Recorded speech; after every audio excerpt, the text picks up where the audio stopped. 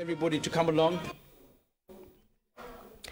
American লেখক, সংগঠক সারোয়ার চৌধুরীর যুক্তরাজ্য সফর উপলক্ষে এক মতবিনিময় সভা অনুষ্ঠিত হয়েছে।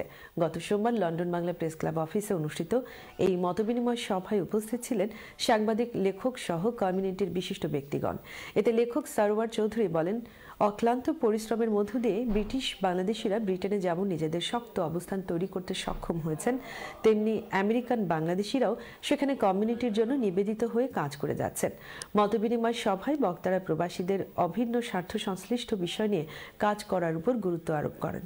লন্ডন বাংলা প্রেস ক্লাবের সহসভাপতি রহমত আলী সভাপতিতে ও সাপ্তাহিক সুরমার স্পোর্টস রিপোর্টার মোহাম্মদ শরীফুজ্জামানের পরিচালনায় মতবিনিময় সভায় অংশ নেন প্রেস ক্লাবের সাধারণ সম্পাদক তাইসির মাহমুদ, সাবেক সাধারণ সম্পাদক মোহাম্মদ জুবাইর, লেখক, গবেষক ফারুক আহমেদ, সম্মিলিত সাহিত্য, সাংস্কৃতিক পরিষদ যুক্তরাজ্যের সভাপতি মইনুর রহমান বাবুল, সাপ্তাহিক সুরমার সম্পাদক শামসুল আলম লিটন, কবি আহমেদ ময়েজ সাংবাদিক আব্দুল মনিম ক্যারুল ও press club treasurer Saleh Ahmed সহ আরও অনেকে।